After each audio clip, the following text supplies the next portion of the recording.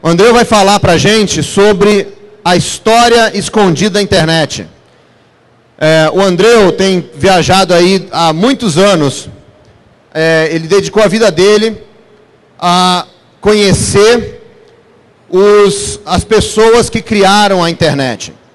Então, o Andreu tem viajado para vários lugares do mundo, almoçado e feito entrevistas com várias pessoas que criaram, que começaram a internet. Tanto aqueles famosos que todo mundo ouve falar, quanto pessoas que de fato estavam por trás, fazendo as coisas acontecer. E o Andreu está aqui, ele vai nos contar um pouquinho dessa experiência dele, o que ele ouviu, o que ele conheceu, né? É, o, que, o que, que de fato aconteceu naqueles anos do início da internet. Tá então é uma oportunidade única né, de você ter a verdadeira história da internet. Então nós só damos uns minutinhos aqui apenas para as pessoas pegarem a tradução. Pergunta aqui.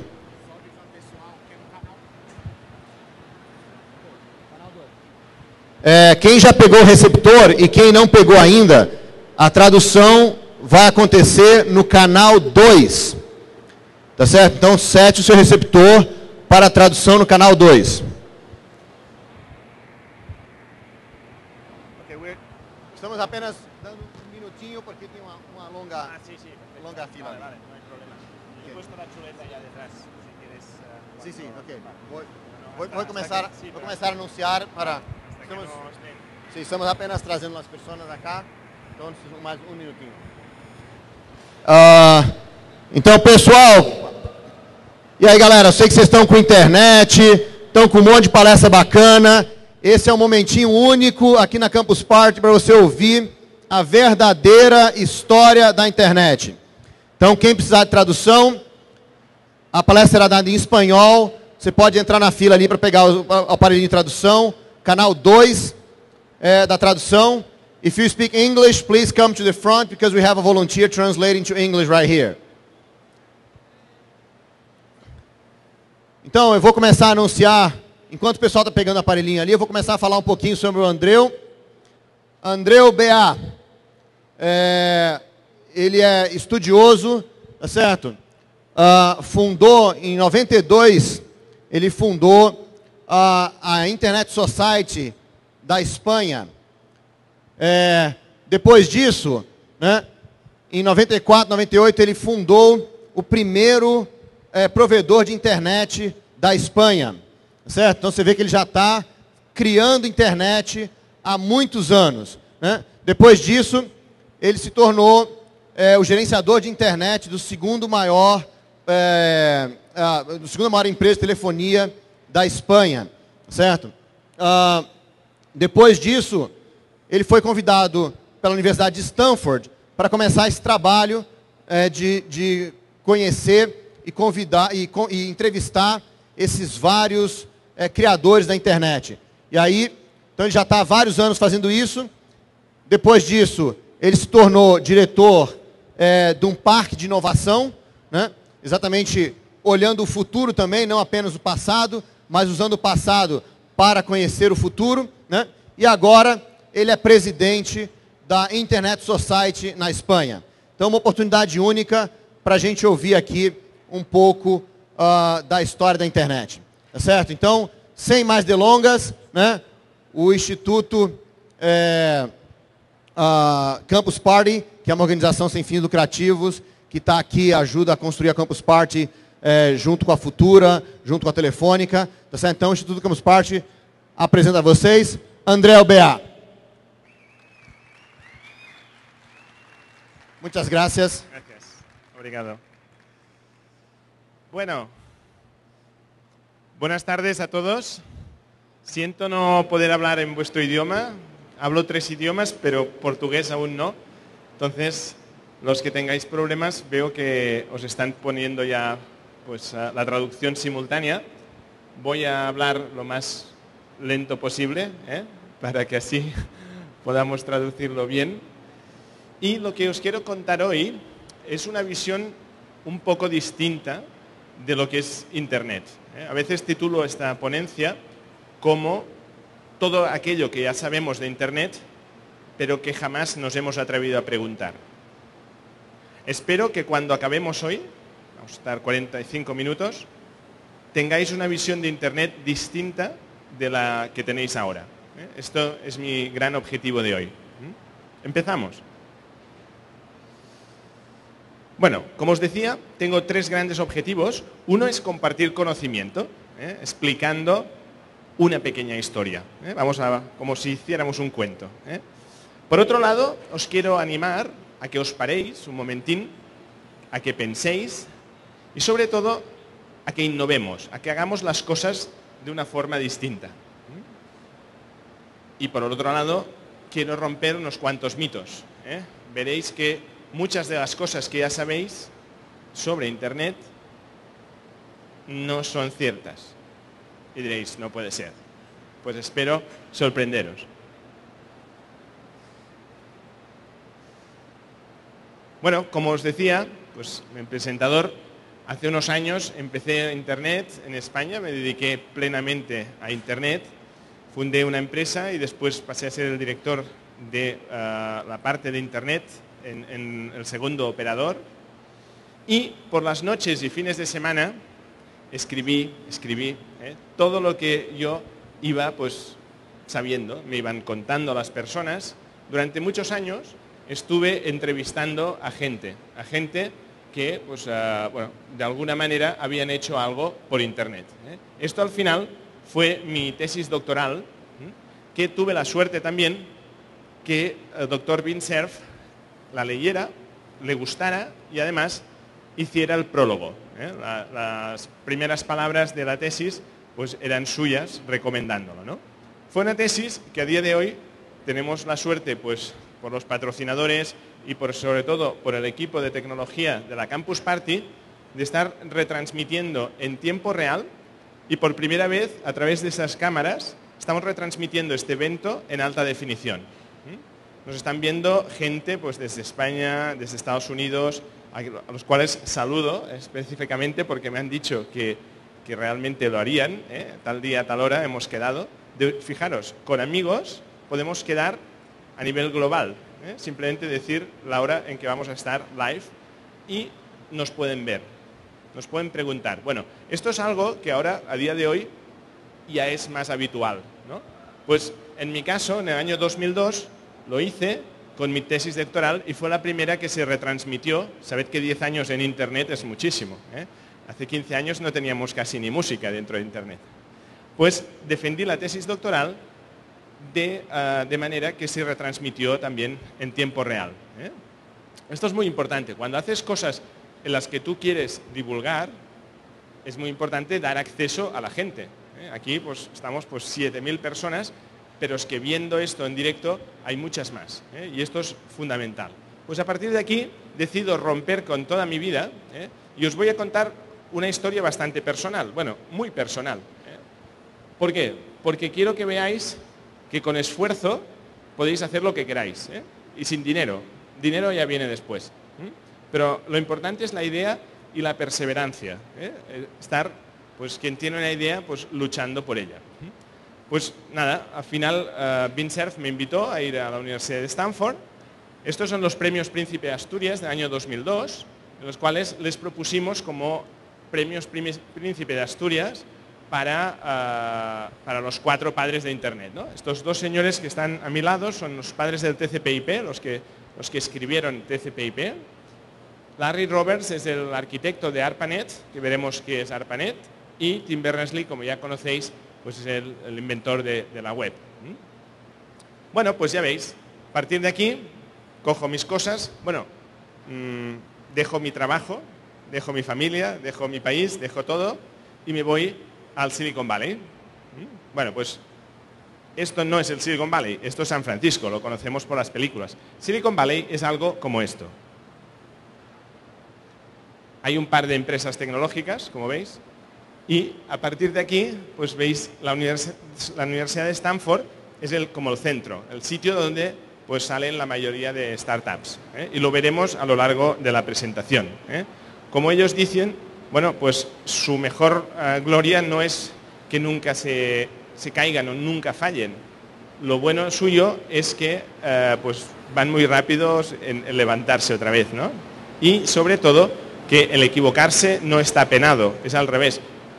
En España, que es un país que conozco bien, si tú fracasas en una empresa, pues oye, ya te ponen una cruz y ya nada más. En California es distinto. Si tú fracasas, dicen, bueno, este ya sabe lo que no se tiene que hacer. ¿Eh? O sea, es una visión del fracaso pues distinta. Bueno, pues estuve aquí, que parece más un escenario de Harry Potter, ¿no? pero esta era mi oficina en, en Stanford, en la esquina donde veis la torre, a la izquierda, y a partir de aquí, pues tuve que hacer alguna cosa para vivir, porque muy bien, la cosa es que te inviten ¿eh? como profesor invitado, pero era investigación, no era docencia, con lo cual tengo la mala costumbre de comer tres veces al día, y claro, entonces tuve que inventar alguna cosa para poder vivir en un estado que es posiblemente el más caro de Estados Unidos y en una ciudad que junto con Beverly Hills es la más cara dentro del estado más caro, con lo cual algo teníamos que hacer y me dediqué a traer empresarios de España a Silicon Valley, ¿eh? utilizando pues todos los contactos que yo iba haciendo, de alguna manera pues fue una manera de devolver a la sociedad pues la suerte de que tenía yo de estar allí, ¿no? Como os decía, quisiera que pararais un momento a pensar y pensarais en Internet como el salto más grande que se puede hacer en las comunicaciones humanas.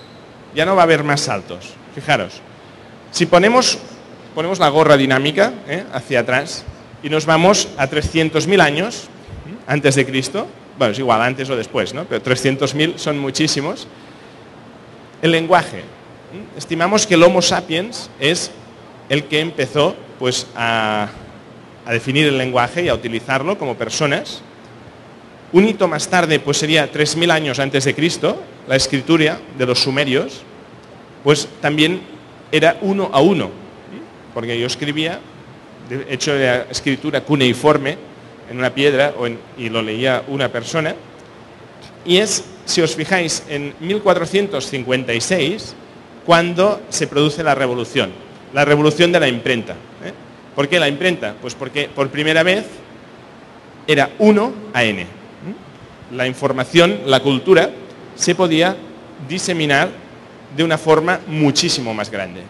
¿vale? Y por tanto es un paso, como sabéis, histórico. En el caso de Internet, y digo año 69, Vint Cerf y otros, crean un sistema que es N a N, o sea, de muchos a muchos. Por tanto, en los años que vienen vamos a hacer la Internet más rápida, más eficiente, más bonita, de otro color, con otro nombre, pero ya no va a haber ningún sistema más que cualitativamente pueda mejorarlo, porque podemos comunicarnos N a N. Fijaros, por tanto, que es un hito en la historia. Bueno, ya decía Maquiavelo, eh, en El Príncipe, que aquel que innova siempre tendrá como enemigos a todos aquellos a los que les va bien el orden existente.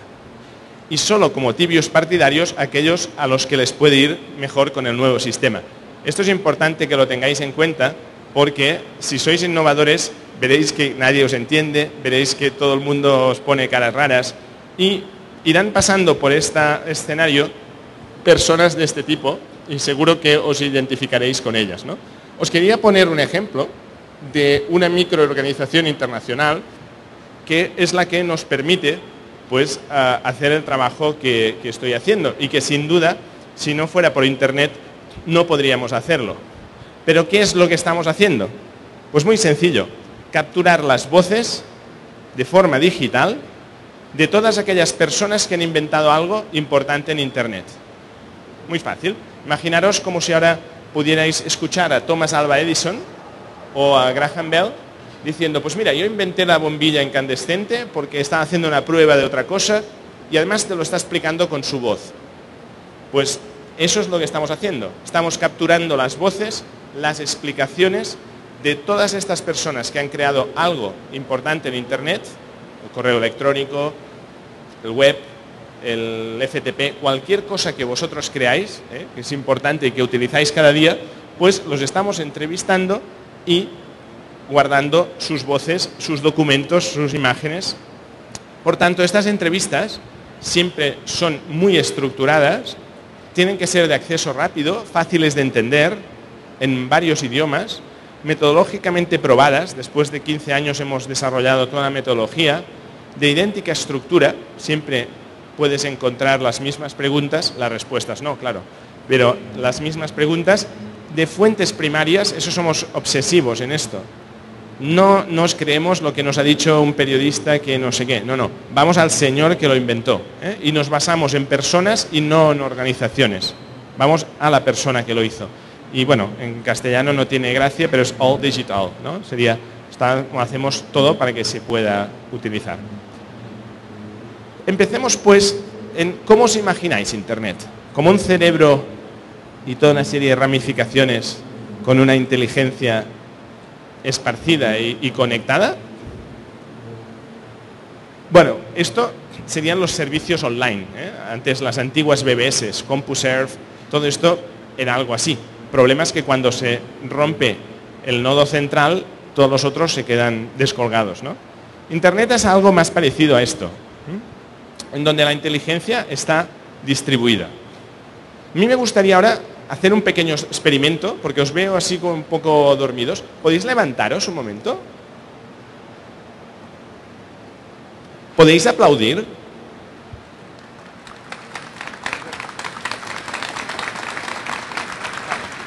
Muy bien. Habéis tardado siete segundos. Podéis sentar, ¿eh? Ya. Así estáis más despiertos ahora habéis tardado siete segundos en sincronizaros. Yo no os he dicho ni que me aplaudierais a mí, ni cómo teníais que aplaudir. Yo he dicho, ¿podéis aplaudir? ¿Sí? Habéis empezado a escuchar al vecino y habéis sincronizado vuestro clap, clap, clap al de al lado. De forma autoorganizada. Yo no he dicho nada. Yo no era el director, ni decía, venga, tal, tal. No, no, no. Vosotros lo habéis hecho. La inteligencia en este caso está distribuida en cada uno de vosotros y sin que nadie os diga nada, ni os he explicado el experimento antes, os habéis sincronizado y habéis formado un conjunto armónico de totalmente sincronizado. Esto, por tanto, es un ejemplo de inteligencia distribuida. Así funciona Internet.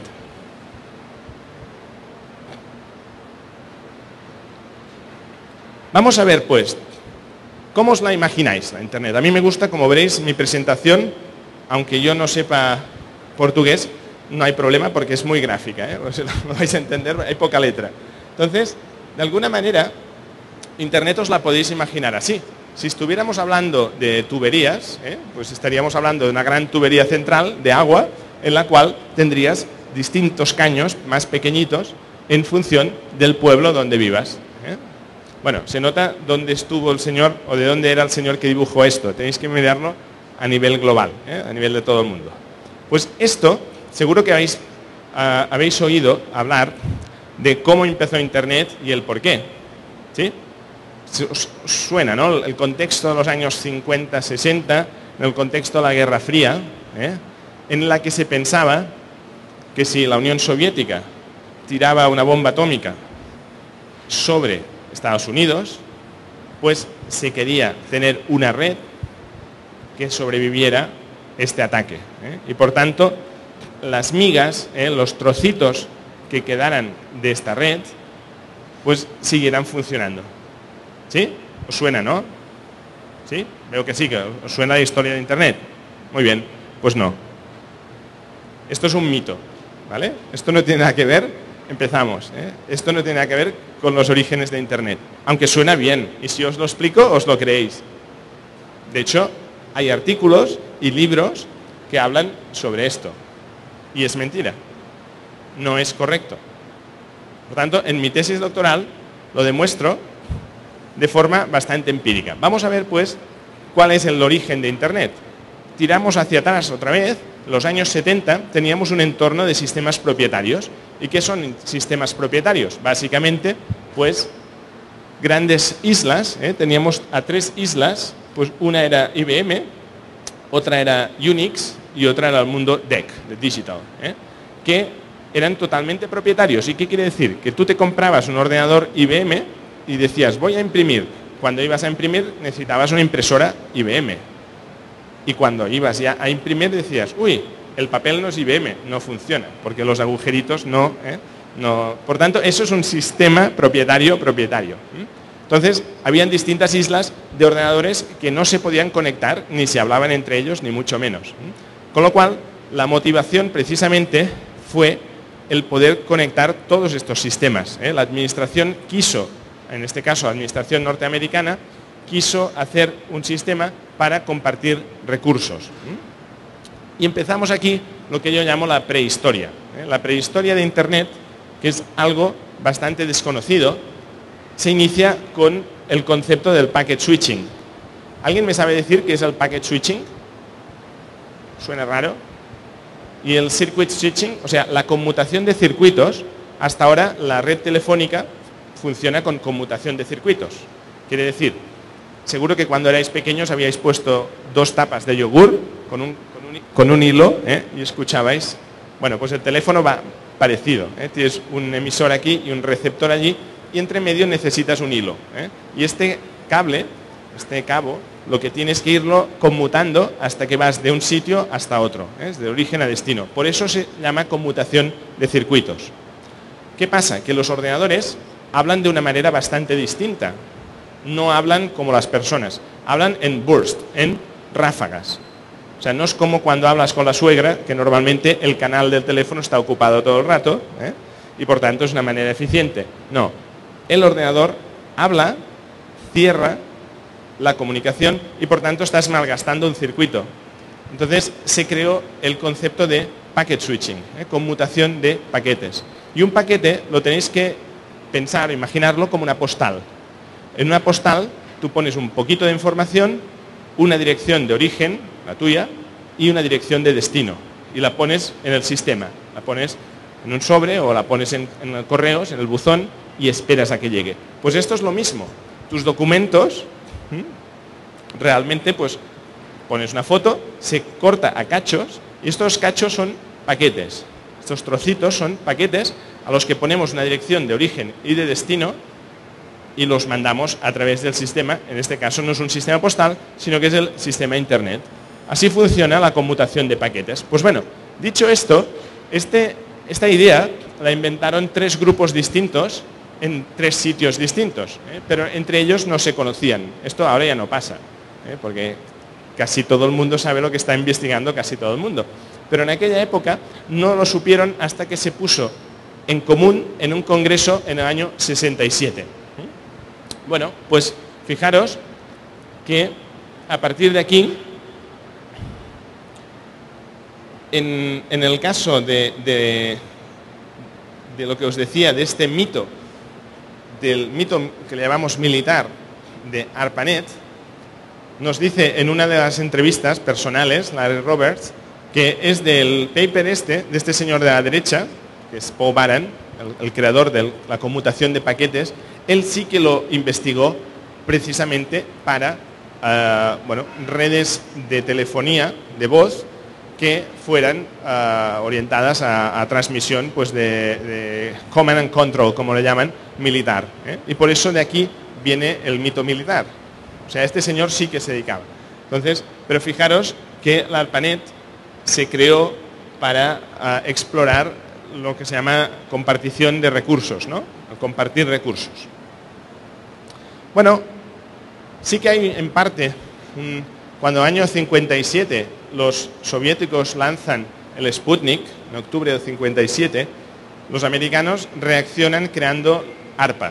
ARPA era una agencia de proyectos avanzados en la cual lo que hacen, lo que empezaron a hacer es dar dinero a las distintas universidades para hacer proyectos de investigación avanzada. Bueno, pues estos proyectos requerían pues de ordenadores y cada vez que compraban un ordenador a una universidad el 87% del dinero se iba en el hardware. Porque claro, el ordenador valía 3.000 millones de dólares. Y podían comprar uno y ya está. Y después ya, ya no tenían dinero para hacer la investigación. Y eso les pasaba cada vez que ponían un ordenador en cada universidad, que pusieron muy pocos ¿eh? a este precio. Entonces, el problema estuvo en que cada universidad que recibía un ordenador, pues como cortesía, a este señor, un perfecto desconocido, Bob Taylor, le ponían un terminal tonto en su mesa. Para decir, mira, así usted puede, ¿eh? desde el Pentágono, puede mirar nuestro ordenador. Bueno, cuando este señor tuvo la mesa llena de terminales tontos, dijo, bueno, quizá lo lógico sería lo que ahora tenemos como algo común, conectarlos entre ellos, ¿no? Para que unos pudieran ah, ver lo que hacían los otros. Si unos eran especialistas en gráficos o especialistas en lo que fuera, ¿eh? en modelación, modelado matemático, pues que pudieran compartir entre ellos. Lo que veis a la derecha son los ordenadores originales. ¿eh? Está sacado del manual del usuario de estos cacharros, que parece más una nevera o, bueno, casi un, un cuarto de neveras. ¿no? Podéis imaginar por qué eran tan caros. Pues bueno, concretamente el 12 de abril del año 68, en el Pentágono, en la oficina del ala de cuarta planta, este señor fue a su jefe y le pidió pues dinero para crear ARPANET, ¿eh? una red que como la subsidiaba ARPA, pues se llamaría ARPANET, y su jefe tardó 20 minutos en dotarle de un millón de dólares. ¿eh? Esto me lo ha explicado él personalmente. ¿no? Otra de las anécdotas que me contó es esta, ¿eh? Que vio en la revista Time, Time Magazine, una carta de un señor que dijo, bueno, pues siempre ah, decían que ARPANET se había creado para esto y tal, ¿no? Entonces dice, la primera carta no le dice mucho caso, pero a la segunda les escribí diciendo, oiga, que ARPANET se construyó para permitir que la gente con acceso a la informática interactiva, pues pueda interaccionar y pueda compartir cosas ¿eh? con intereses comunes. ¿no? Entonces, ¿cómo sé? Pues porque yo soy la persona que tomó esa decisión de construir ARPANET. Y dice, bueno, aún así le contestaron ¿eh? para agradecerme el envío y asegurarme que sus fuentes eran correctas. Y sus, sus fuentes vinieron de muchos otros libros, todos equivocados sobre este punto. Así, ¿eh? dices, ¿cómo se escribe la historia? Porque seguramente vosotros sabíais esto. Pues es falso, es incorrecto, es mentira, es un mito. ¿Vale? O sea, borrad y poned otra cosa, porque no es así. Sigamos. Este señor, Bob Taylor, después se fue al mítico Xerox Park, el Palo Alto Research Center, que seguramente conocéis, y que inventó todo lo que utilizáis a día de hoy. Empezó inventando la impresora láser, los de Xerox eran fotocopiadoras, con ese sistema inventaron la, como la llaman, los Xerox Copier, y cuando ya tenían la impresora láser, dijeron, tendríamos que conectar los ordenadores en una pequeña red de área local, LAN, para poder imprimir. Inventaron la Ethernet. Ethernet porque va por el Ether, por el Ether. Y va vía, vía radio, después fue 40 años vía cable y a día de hoy vuelve a ir vía radio. Si os fijáis en Wi-Fi, es esto. O sea, la tecnología es un péndulo. Pues este señor, cuando lo entrevisté en su casa, pues realmente es un señor bastante especial, ¿no? Me hizo leer dos libros suyos, varios artículos antes de, poder entrevistarle y cuando le fui a entrevistar, antes de dejarme entrar en la puerta de su casa, me hizo unas preguntas para ver si me había leído los libros. Digo, si todas las entrevistas son así, voy a hacer muy pocas, ¿no? Porque fue bastante difícil. Otra persona que os recomendaría que mirarais es Duke Engelbart. Duke Engelbart es el señor que inventó el mouse, el ratón de ordenador. Este señor además inventó un trasto que veis abajo a la derecha con cinco teclas que no sé si os acordáis los que sois ya aquí tenéis una edad en informática el WordPerfect o WordStar que teníais que hacer control K C, control K V, ¿eh? con unas combinaciones para hacer pues ah, una negrita ¿eh? o una itálica o subrayado. Bueno, pues él inventó esto porque son cinco teclas que haces 2 a la 5, 32 combinaciones. Con lo cual, con el ratón tú subrayabas el texto, lo seleccionabas y con la otra mano hacías lo que quisieras, la edición. Cuando le pregunté qué era eso, me dijo, bueno, esto no ha tenido tanto éxito. No, efectivamente, no ha tenido tanto éxito, pero es muy curioso de conocer, ¿no? Fijaros, él lo hizo en el año 68. ¿eh? Si ponéis en Google The Mother of All Demos, la madre de todas las demostraciones, The Mother of All Demos, veréis a este señor en el año 68 hacer una videoconferencia, cuando no había vídeo, ¿eh? estábamos en temas de cine, con un ordenador personal, 68, recordad que se llamaba Alto. Recordad que IBM lanza el PC, el ordenador personal, en julio del 81, o sea, como dos décadas más tarde. Entonces, este señor, lo que inventó él ¿eh? es precisamente a partir de que él estuvo en la Segunda Guerra Mundial en las, creo que fue en las Filipinas, cerrado ahí en un submarino, y veía cómo la información se representaba ¿eh? pues, en un radar y en una pantalla de color verde. Y dijo, si los ordenadores son tan aburridos, ¿por qué no les ponemos también una pantalla para entrar y salir? ¿eh? Por tanto, si tenéis un monitor en casa es por culpa de este señor también. ¿eh? Y si utilizáis el ratón es por culpa de este señor.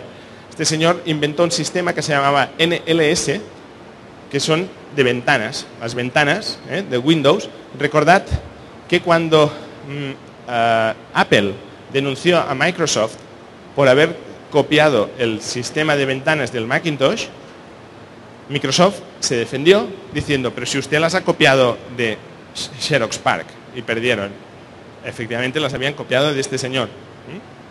Además tenía un procesador de texto y tenía una videoconferencia y tenía, tenía todo. ¿eh? O sea que este señor es relativamente poco conocido, pero todo lo que estamos utilizando a día de hoy de microinformática es gracias a él. En el año 69 como decíamos, empieza la construcción de esta red. ¿eh? En el año 69 se empieza ARPANET ¿eh? y básicamente lo gana una empresa privada que construye el primer router. El primer, en ese momento se llamaba IMP, un Interface Message Processor. Eso era el primer router. Bueno, pues este son el equipo original. ¿eh? Este señor que veis a la derecha es tal cuando entrevisté yo y está un poco más mayor. Y esta nevera grande que veis aquí, esto es el router, el primer IMP. Bueno, veamos pues, si vosotros siempre decís, pues cuál sería el cumpleaños de Internet, ¿no? En este caso de ARPANET.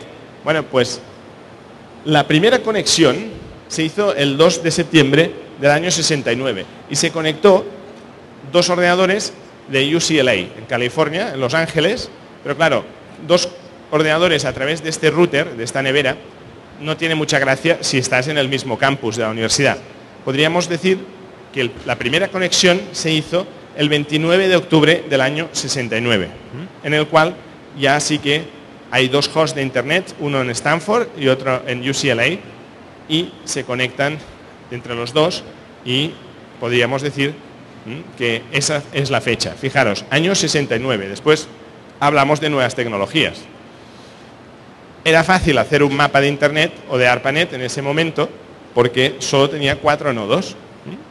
La última vez que yo intenté hacer algo parecido, pues en el año 98 ARPANET, perdón, en este caso Internet, tenía un aspecto como este, siendo cada punto una subred, no es un ordenador, o sea, es mucho más complejo, se necesitan más ah, dimensiones para poderlo dibujar bien. ¿no?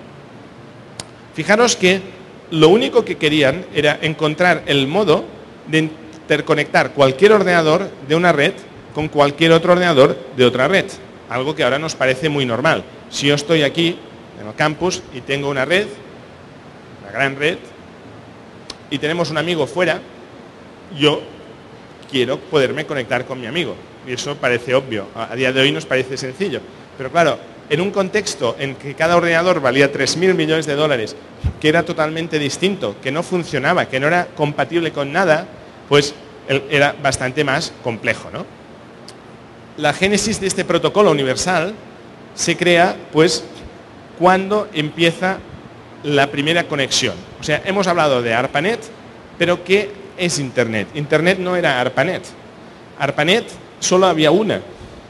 Si hubieran hecho dos ARPANETs, hubieran sido incompatibles entre ellas, no se hubieran podido interconectar. Entonces, Internet necesita, como su nombre indica, dos o más redes.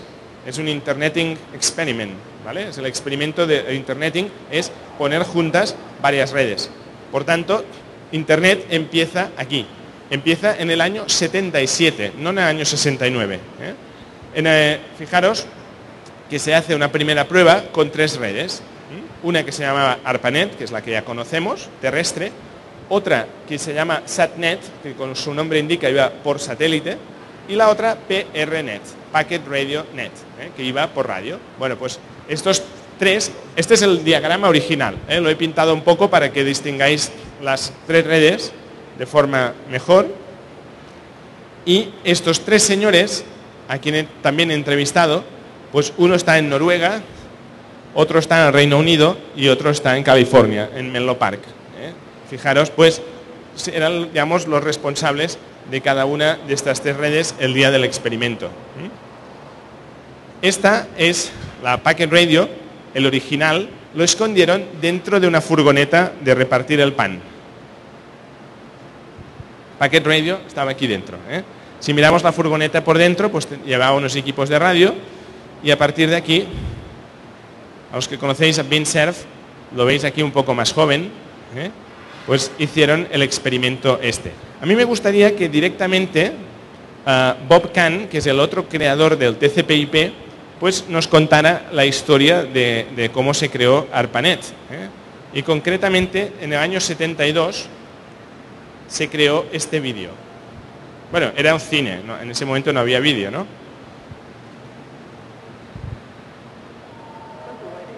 Os lo voy a traducir.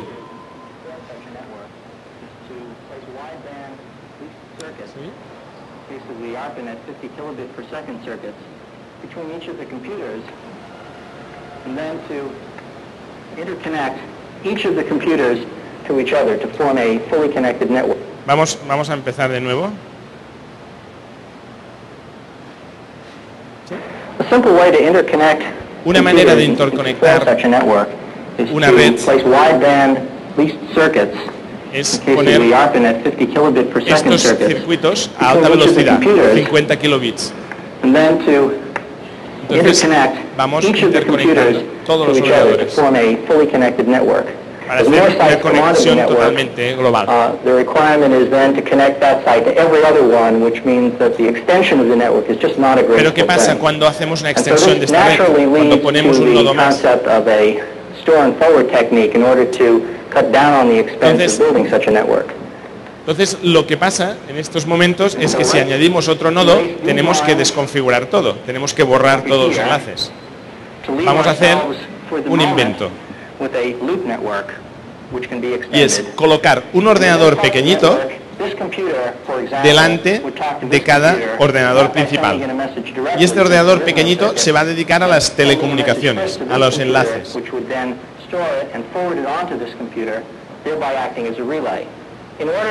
Y los mensajes van a ir guardados de uno al otro y se van a ir pasando entre ellos. Esto es el original, esto es el primer router. Fijaros que parece de todo menos un router.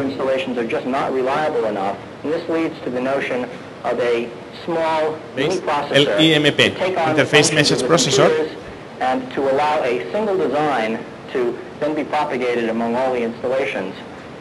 de forma que colocamos este ordenador en cada universidad,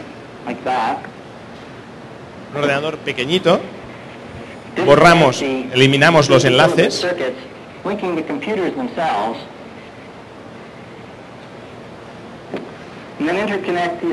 y ahora interconectamos los IMS, los ordenadores específicos de telecomunicaciones. ¿Os suena esto? Estos son los routers, Un ordenador pequeñito específicamente pensado para las telecomunicaciones. ¿Y dónde conectamos el ordenador? Al router. Y el router crea internet. Pues estáis viendo en directo cómo en el año 72 se creaba el concepto de ARPANET y de cómo hasta ahora pues ha durado el sistema y la estructura de, de Internet. ¿no? Eso sí, El concepto de banda ancha aquí eran 56 kilobits por segundo. ¿eh? Era, ahora lo tenemos un poco superado, ¿no?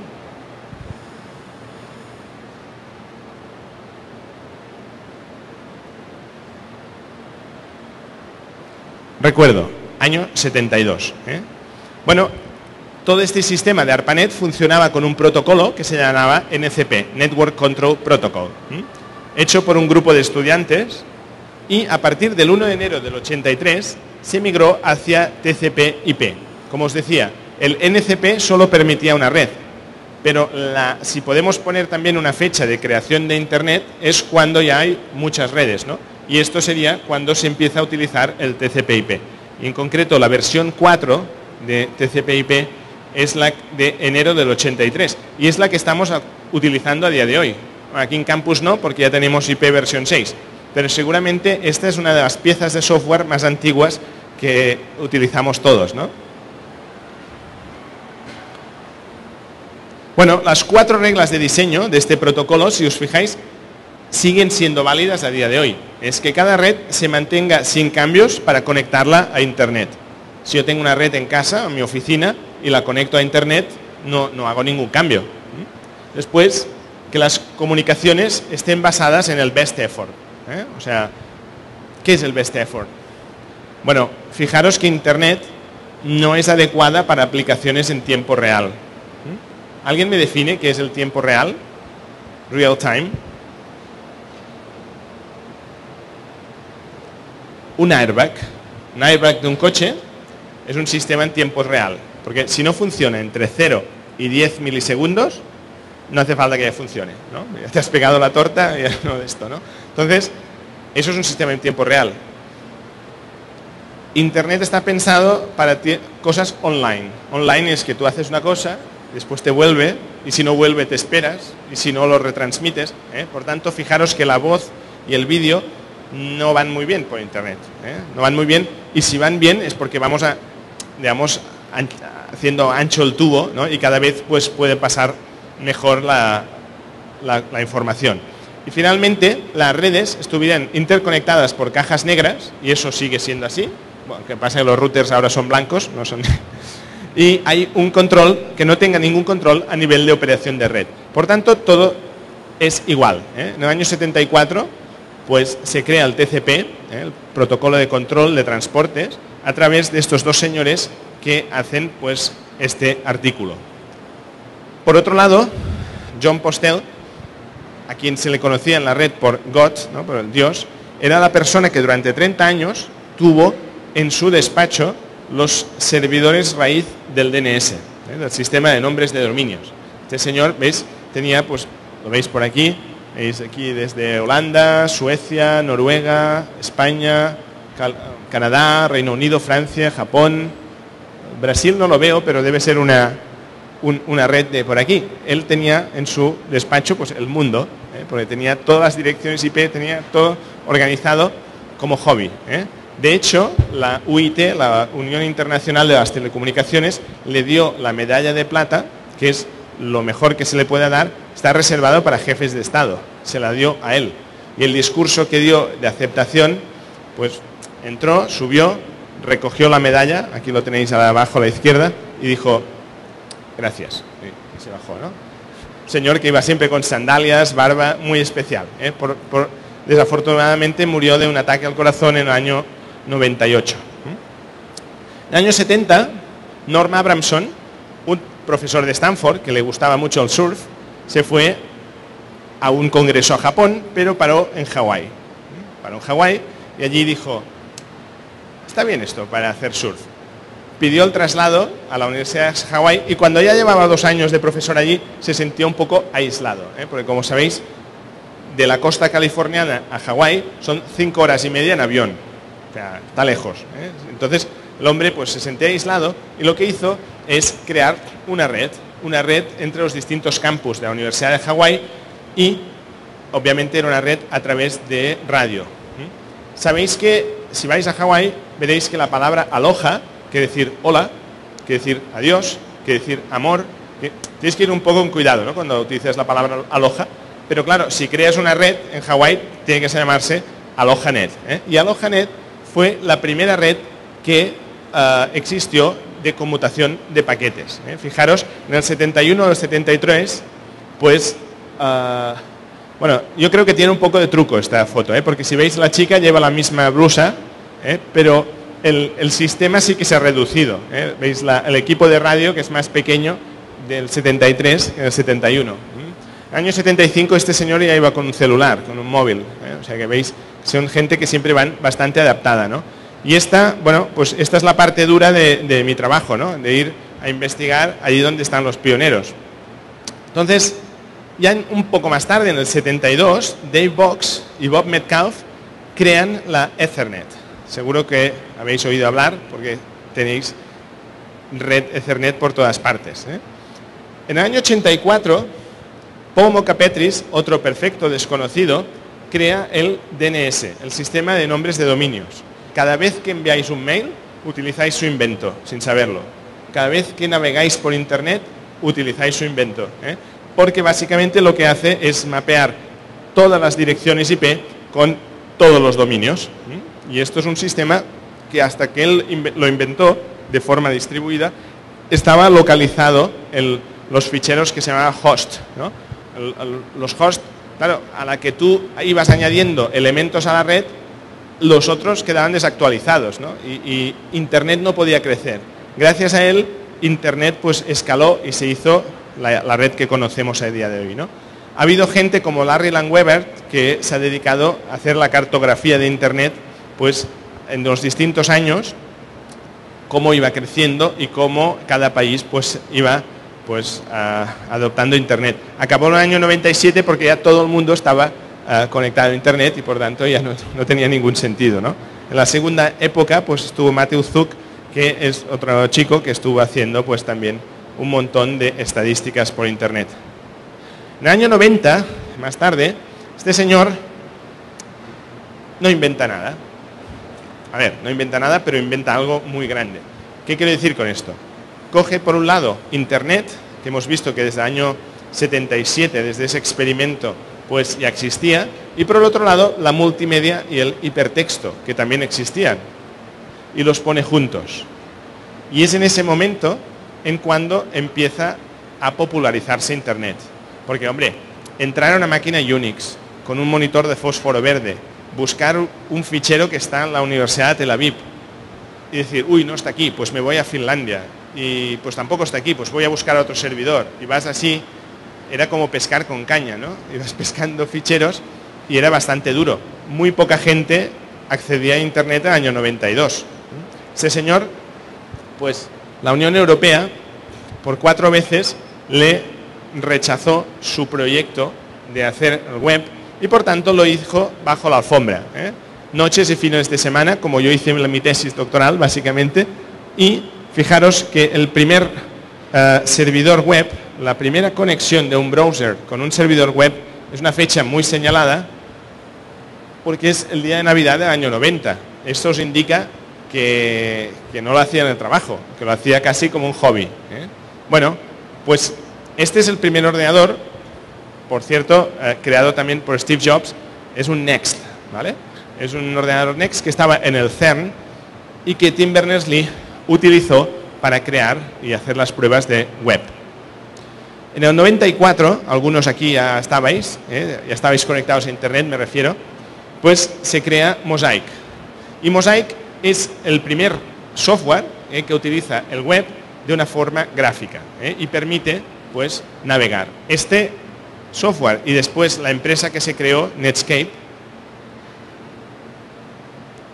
son lo que marca el hito de la popularización de Internet. A partir de aquí entra muchísima gente, ¿eh? millones de usuarios. Y empiezan a hacerse webs, páginas ¿eh? por todo el mundo. Seguramente conocéis lo del Yet Another Holistic Object Oriented System, también llamado Yahoo. ¿eh? Pues dos estudiantes de Stanford, en el año 95, ordenan un poco todo el jaleo que había de, páginas ¿eh? y empiezan a hacer pues esto. En diciembre del 96, esta era la primera página de Yahoo y la fiesta de fin de año, ¿no? Una en par de años más tarde, en el 97, Larry Page y Sergey Brin, dos estudiantes más de la Universidad de Stanford, como os decía, pues crean una cosa que se llama google.stanford.edu, que después pasó a ser google.com. Pero la fórmula mágica ¿eh? de indexación pertenece a Stanford. y la cede a una empresa que es Google Inc. hasta el 2011. Hasta el año pasado la cedió. ¿Qué pasó? Que esa patente pues, ha ido evolucionando tanto que no se parece en nada a la original. ¿no? Pero de alguna manera cuando Google salió a bolsa, Stanford se llevó varios centenares de millones de dólares por esas patentes. ¿no? Bueno, más tarde, pues esto es Google en la actualidad. Aquí, pues esto es el Google Plex en Mountain View, en donde podéis pues traer, llevar la bici o tener vuestro perro. Podéis. Es curioso porque está lleno de perros, ¿no? Las oficinas, vas por allí y está muy bien. Bueno, y estos dos señores son personas que me ayudan y que me permiten seguir haciendo de Internet Explorer, ¿no? de ir visitando alrededor del mundo, pues este es, la derecha es Larry Page, el inventor de la fórmula que seguramente os suena del Page Rank. No es el ranking de páginas, es el ranking de Larry Page. Es el Page Rank viene de aquí. ¿eh? A veces hay gente que lo confunde. Y después, pues Vint, que ahora es el vicepresidente de Google también. ¿no? En el año 2010, esta sería pues, la, imagen como que tienen actualmente, ya son todos muy mayores. Y Paul Baran, que murió ahora en abril pasado, bueno, pues siempre les pido que me den algunas imágenes de los ordenadores que utilizaban ¿no? en su época. Aquí tenéis a la izquierda abajo el ordenador que utilizaba Paul Baran para inventar el packet switching. Bueno, una frase que a mí me ayuda mucho y que espero compartir con vosotros es que el hombre inteligente lo sabe todo y el sabio conoce a todo el mundo. Porque cuando no sabéis algo, lo mejor es poder conocer a alguien a quien preguntar. ¿no? Y acabamos la parte histórica mirando un poco el inicio de Internet en Brasil. Y entonces, básicamente, lo que vamos a hacer aquí durante esta semana es estudiar un poco más la historia de Internet en Brasil, ¿eh? que se inicia en septiembre del año 88, hace 24 años ya. ¿eh? Y eso sí, los enlaces eran a 4.800 bits por segundo, ¿eh? o sea que era una cosa bastante lenta, ¿no? Bueno, hubieron pues distintas redes precursoras a Internet en Brasil, como Bitnet, subsidiada por IBM, y NSNet. Entonces, las BBS, a los finales de los 80, algunos habréis visto esto en MS2, ¿eh? con, donde podías conectarte. Y los modems eran algo así. Pues mira, pasar de los 300 bits por segundo que daba esta maquinita, en donde ponías el teléfono y convertía la señal acústica de audio, lo convertía a, bueno, a, o sea, los datos que venían del ordenador los convertía a una señal acústica, un pi, pi, pi, ¿eh? seguro que habéis oído esa señal característica de un modem, ¿no? Bueno, eso iba a 300. Pues comparado con 3, 3 gigabits, aquí tenemos 7 veces más, 20 gigabits, Estamos hablando de 10 millones de veces más. ¿eh?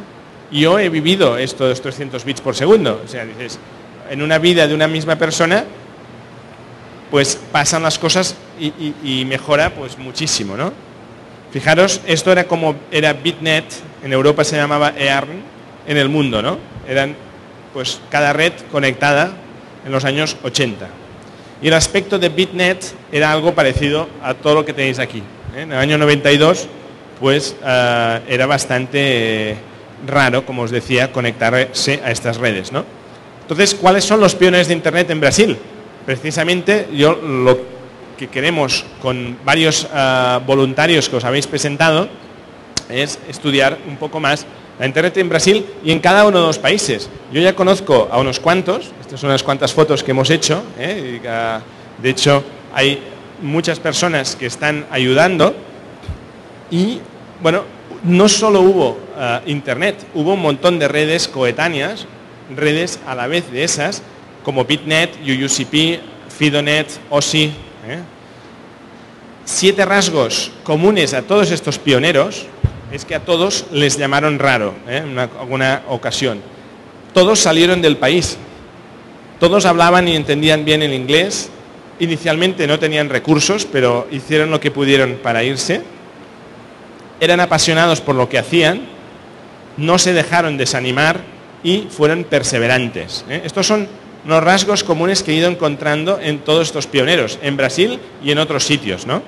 y gente pues, que está ayudando, gracias a lo que os decía, al WeWill, al Who is Who in the Internet World, son, eh, están, están por todas partes, ¿no? desde Sabadell a Jakarta, en México, en Campinas, bueno, ahora ya no están en Campinas, eh, en nodos locales hay en Sofía, en Quito, en, Alemania, en Fiji, en Hong Kong, Oslo, Toronto, y también tenemos a mi comunidad de aprendizaje, a quien aprovecho para saludar aquí, y es lo que os decía antes, cuando vosotros tengáis la capacidad de poner a gente interesante junta, podréis trabajar en red. Y trabajar en red es fundamental para seguir aprendiendo, para seguir trabajando. O sea, en estos momentos no penséis que en vuestro futuro vais a trabajar solos. Aunque estéis en casa y aunque estéis en medio de un desierto, si tenéis internet es fundamental trabajar en red. Sí que quería decir una especial eh, gracias eh, pues, a dos personas que desde el año 2005 me están ayudando en Brasil sin conocerme. Ahora cuando hagamos la conferencia tendré el placer de conocer personalmente a Mariana Pasos. Verónica no ha podido asistir, pero después de trabajar años con ellas, es muy divertido pues desvirtualizarnos, ¿no? O sea, ver que, cada tiene y, bueno, pues básicamente poder, poder estar ah, juntos y, hablar, ¿no? Bueno, y para escribir la internet en Brasil, esta historia, tenemos también a... Yo pedí dos o tres voluntarios y, se han apuntado 143. Yo no sé no sé si vamos a tener trabajo para todos, pero sí que al final de, la charla os vamos, nos vamos a hacer unas fotos por aquí juntos y vamos a seguir trabajando. La verdad es que aquí en Brasil todo es a lo grande, ¿no? bueno, pues para acabar, decir que necesitamos las historias aún desconocidas, ¿eh? antiguos correos electrónicos que marcaron un hito, fotografías de grupo, cosas pues que ah, nos permitan preservar la historia colectiva de Internet. ¿eh? Deciros que nuestra organización ha recibido varios premios y que, bueno, pues eh, mi mentor es Vince Cerf, que me ayuda muchísimo. Esto fue una visita con él cuando me enseñó Washington. La última publicación se hizo en catalán de 2.000 unidades, pero la próxima la vamos a hacer en castellano y, no cumplo la fecha. O sea, va a ser ahora en primavera, pero no hemos podido cumplir de 15.000 unidades. Y bueno, pues estamos eh, más de 200 voluntarios alrededor del mundo. Eh, tenemos a 10 personas pues, que son el, núcleo y después ya tenemos a más de 300 pioneros entrevistados. Acabo la historia con esto, ¿no? Siempre hablamos de nuevas tecnologías, pero bueno, el teléfono, el primer teléfono IP está, está en el año 75 y funcionaba sobre ARPANET. ¿eh? Fijaros que en el futuro vamos a tener generadores en la suela, posiblemente. ¿eh? Ahora he acabado el pasado, vamos a hacer una vista muy rápida para terminar en cinco minutos de el futuro. Futuro es que si llevamos tantos dispositivos por todas partes, dices, bueno, estoy todo el día cargándolos con la batería. Lo ideal sería llevar el generador pues encima, ¿no? Pues esto es un sistema que te permite así. Pero claro, si tienes el generador en el suelo, en el pie, y tienes el móvil aquí, pues necesito que a través de un tejido inteligente poder hacer subir la corriente. ¿no? Esto es, eh, no es el futuro, es el presente ¿eh? de tejidos que nos permiten, por ejemplo, subir el, volumen de nuestro, de nuestro player ¿no? directamente sobre la manga. ¿eh? ¿Veis? Tienes el pause para adelante, para atrás. ¿no? Cada vez más, y hay una empresa de un buen amigo que nos está mirando ahora desde Palo Alto, de Silicon Valley, que crea cosas con tejido inteligente. Cosas tan interesantes en las que tú puedes proyectar sobre tu camisa o sobre tu chaqueta texto en tiempo real. ¿eh? Y puedes poner desde la temperatura de tu cuerpo hasta lo que te falta para acabar una maratón. ¿eh? Es un display que es dinámico. ¿vale? Esto es la empresa InnoValley. Y además, fijaros que interesante, los cordones eh, de la chaqueta ya son los típicos cables que siempre no sé dónde ponerlos y que siempre se me hace un nudo en el cable del auricular, ¿no? Pues ya lo utilizo como auricular, pues como para la capucha.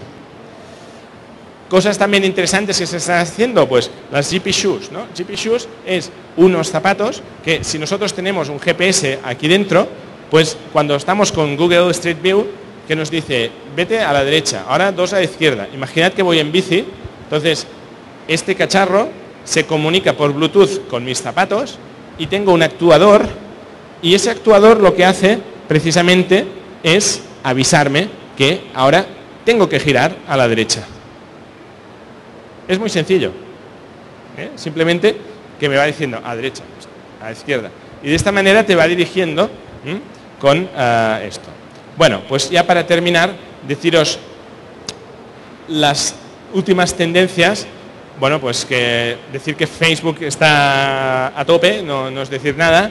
El live streaming, estamos haciendo live streaming, checking in, ¿no? Foursquare, todo esto, pues está muy de moda. Visual search, la búsqueda con objetos visuales, los social games y sobre todo la augmented reality. ¿no? En algunas cosas del checking in, fijaros que hay, si buscáis por Feltron Report, es un chico que todo lo que hace automáticamente lo hace, ¿no? Se ve un café, pues un café. Entonces hace las medias, ¿no? Media de pues, eh, fotos que he tirado cada día, 16,8 durante un año. Todos los sitios donde he estado, pues él vive en Nueva York y ve, pues mira, dónde está su novia, dónde está su trabajo y dónde están los sitios donde ha estado más. ¿no? Me vais a decir, ¿para qué sirve esto? No lo sé, pero sin, cosas de estas no se pueden hacer. Y es curioso pues, que veáis cómo se pueden hacer cosas nuevas. ¿no? Y después lo del checking in, es lo, hay un web que se llama Please Rob Me, ¿eh? porque claro, estamos diciendo, mm, he dejado mi casa y ahora estoy en otro sitio y en mi casa no hay nadie. Ah, perfecto, pues voy. ¿eh? O sea, cuidado con ser excesivamente abiertos. ¿no? En el futuro, y es presente ya, pues existirá la telepresencia, que es una videoconferencia aumentada, en donde entre estas dos mesas hay 800 kilómetros, ¿no? Te permite pues ver a las personas y oírlas en función direccional, ¿no? O operar a personas, todo esto lo puedes poner en un container y eh, de forma robótica operarla en medio de un desierto. ¿eh? Y para acabar, decir, bueno, con el chat y todo esto es un poco aburrido, pues, o hablar en una pantalla, de alguna manera lo que falta es el interface final, ¿no? Interface final como el Robo Sapiens, que lo podéis buscar, que nos permite con un sistema de silicona inervar los músculos, ¿eh? como, como, las personas, y aparte, hombre, se tiene que maquillar un poco, ¿no? Porque si no, asusta. Pero de alguna manera nos permite hacer una, tener una, una presencia mejor, ¿no? Para finalizar, os quería recomendar pues que miréis fuera, que leáis cosas de fuera, que viváis fuera una temporada, que tengáis amigos, conocidos fuera, que entréis en redes sociales serias, lo del Facebook, y esto es para jugar, ¿eh? en LinkedIn, Plaxo, y que obsesionaros por ser social networkers, ¿eh? o sea, por buscar tarjetas a las personas para conocer. Las oportunidades son solo para aquellas personas que las aprovechan, ¿eh? y bueno, mm, ayudad y compartid lo que podáis, poned Internet en el centro de vuestras vidas y no piséis a los demás, hay espacio para todo el mundo. ¿eh? Acabar diciendo pues que le vamos a tener que cambiar el nombre a Internet y seguramente le vamos a llamar EarthNet. ¿Por qué? Porque Windsurf, otra vez, 40 años más tarde, está planificando la Interplanetary Internet, ¿vale? Para reducir los costes de telecomunicaciones interplanetarios. Este señor siempre ha ido 40 años más adelante que el resto de la población. Vais a decir, ¿para qué quiero conectar los planetas? Bueno, ahora, ahora no, ahora no lo sé, pero cuando sea ya estará hecho, ¿no? Entonces, nada más, obrigado por la atención y muchas gracias.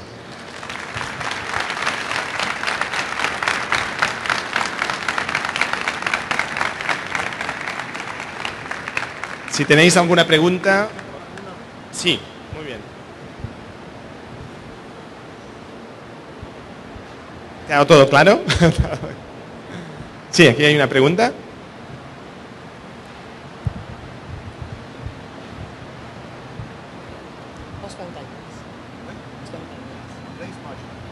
Um, first of all, first of all,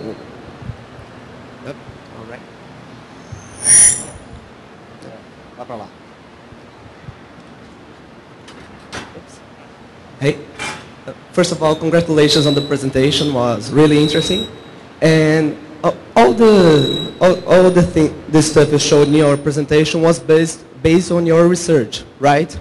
Is this research available uh, online for everybody to, to know more about it?